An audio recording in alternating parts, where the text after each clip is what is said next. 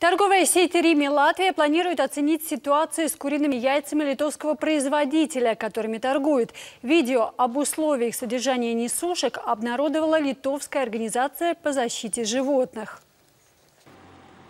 Кадры двух куриных ферм в Литве. Птицы, мягко выражаясь, не в лучшей форме. Именно яйца этих ферм выставляет на продажу сеть Рими.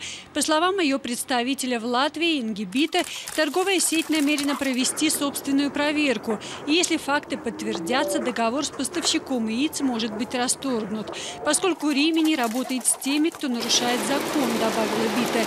Это заявление появилось после того, как латвийское общество «Дзивная Кубривиба» призвало в интернете подписывать петицию с обращением к Риме Латвия отказаться от торговли яйцами, полученными от кур, которых содержат в клетках. Ее подписали уже более 500 человек.